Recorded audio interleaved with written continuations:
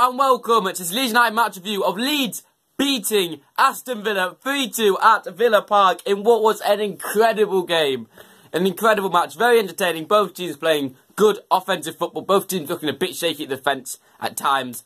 Um, but, yeah, an incredible win for Leeds, top at Christmas, and it was just remarkable after going 2-0 behind after 20 minutes to come out and win that game. One of the hardest games of play all season, away, away to what, in my opinion, is one of the you know strongest squads in the division on paper, uh, and been in really good form. And I thought we deserved it, 100%. And, you know, I, I hope to think Villa fans would agree with me that we deserved it. Because I, although I would have taken a 2-all draw, I think Roofe's goal, you know, we had the more of the opportunities. The decisions didn't go away. We could have had two penalties. But I'll get into that. But let's start off with, well, let's start off with the lineup. There was a few changes. This is something that's interesting is that that wasn't even a full strength Leeds team. That had Leif Davis in. Leif Davis making his, his, his championship debut. Now, I think Douglas was out uh, because of illness. He did travel to the game. I think he realised he wasn't able to play um, in the pre-match warm-up. He just, he, I don't know how severe his illness is. I'd imagine if it was really severe, he wouldn't have travelled. So I'm hoping he can play in the Blackburn game. But yeah, we had to start an 18-year-old at left-back who has never played a game before. So uh, that's you know, and we won. That's it's incredible. Uh, Jansson and Phillips started centre half. Luke Ayling came back. Boy, how we have missed him. He was incredible today. And uh, Harrison came in on the wing with Hernandez moving into that number 10 role. Now, the game did not start well. Uh, 2 down inside 20 minutes. Now, I feel like 2 0 at half time was very flattering. We had the better of the opportunities. Okay, okay, it was actually a fairly even first half. Both teams had opportunities. Villa took theirs, and to be fair, that's not down to luck. If they're more clinical than us, you know, that, that, that's what happened. Abraham, we know, is a good striker.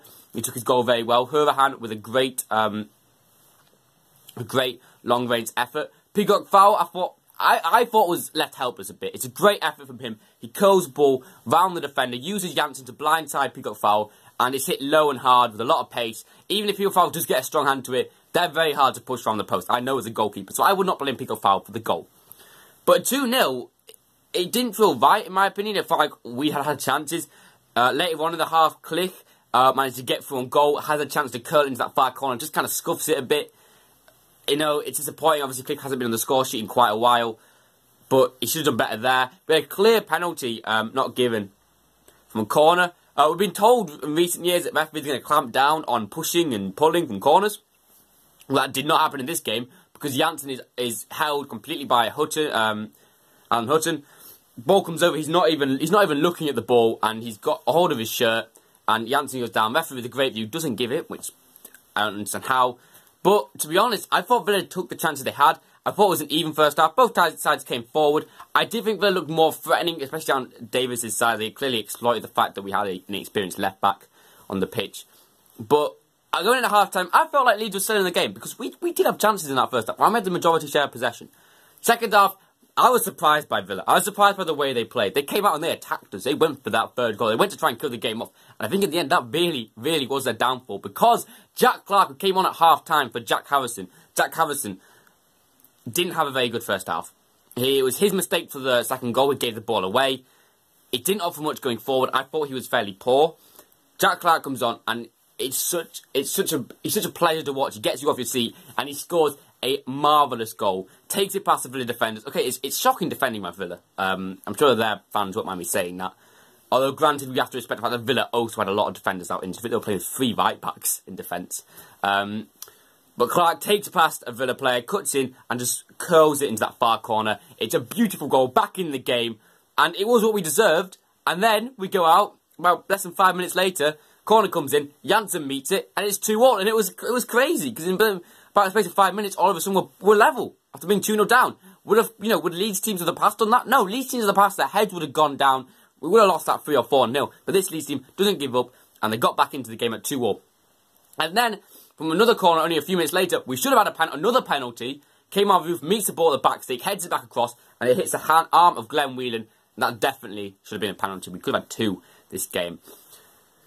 From then on, I thought Leeds still had good opportunities, but so did Villa. Both teams, it was a very, very open game. A great advert for Championship football. Um, Bolasie had a good opportunity when the ball fell to with the back stick from McGinn pass.